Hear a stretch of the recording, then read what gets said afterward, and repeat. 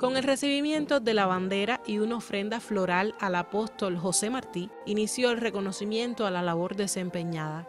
El ascenso al grado inmediato superior de los oficiales deviene nuevo compromiso y alta responsabilidad en la principal misión de salvaguardar las conquistas del país. Para mí es un honor eh, poder ascender al grado inmediato superior. Eh, lo tanto sacrificio y esfuerzo eh, se lo debo primero bueno, a mi familia, a las Fuerzas Armadas en forma general, por, permitirme continuar en la fila, ascendiendo en cargo y en grado.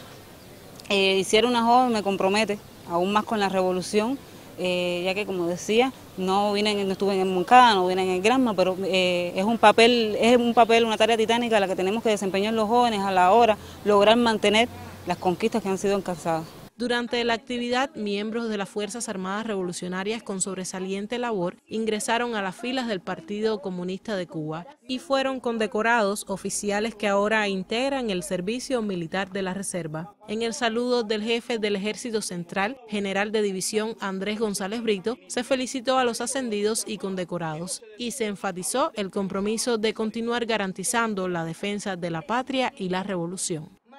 Alien Armas Enríquez, Nodisur.